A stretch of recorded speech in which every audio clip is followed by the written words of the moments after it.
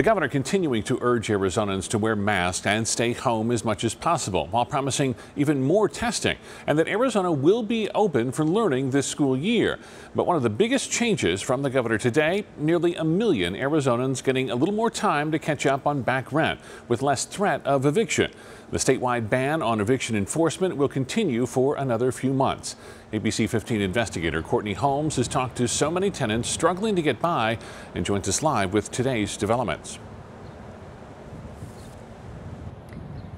Yes, Steve, today some relief for renters and landlords who've been caught in the middle as governments try to figure out how to get housing assistance to them with the clock running on an executive order that was due to expire next week.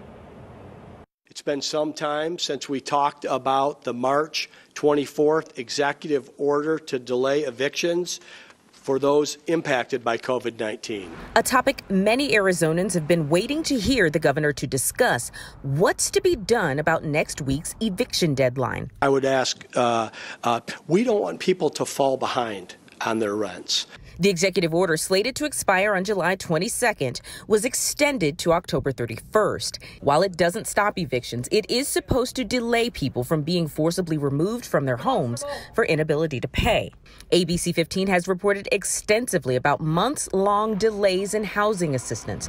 Maricopa County and City of Phoenix just now getting their programs off the ground, and the Arizona Department of Housing has only released just over 1.1 million of the 5 million Governor Ducey set aside back in March. He was asked whether or not that program was a failure. The program is not a failure. Uh, I think you may have seen earlier in the presentation that we've had over $5.4 billion in federal funds go out. That's $840 a week to, to people. So if you're receiving $840 a, a week. But that 840 runs out July 25th for the 900,000 unemployed Arizonans who are relying on it.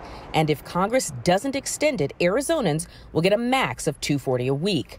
The governor seems to think more money is on the way. This is something we've been talking with uh, the delegation about, talking with the White House about as well. Uh, there is a fourth package coming. Announced a five the governor also announced a $5 million fund set aside specifically for landlords to prevent foreclosure. We're still working to find out how people can apply. For now, we're live in Phoenix. Courtney Holmes, ABC 15, Arizona.